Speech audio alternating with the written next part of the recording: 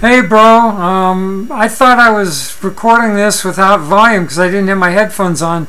Somehow I just tested and the volume was okay, so I don't know how that happened. But this will be re- real short. I just want to know how you're doing. Um, physically, mentally, emotionally, financially, spiritually. What the fuck's going on with you? Anyway, I love you, bro. Um, I love that you're getting 100% in the school. Um, that sounds great.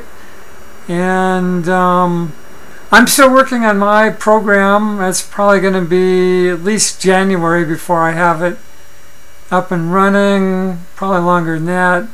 Gotten a little behind with like the craziness with Ken and stuff, but I'm still working on it. Work on it a little bit every week, so it's making progress.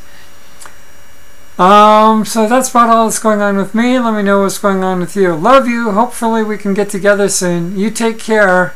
Bye.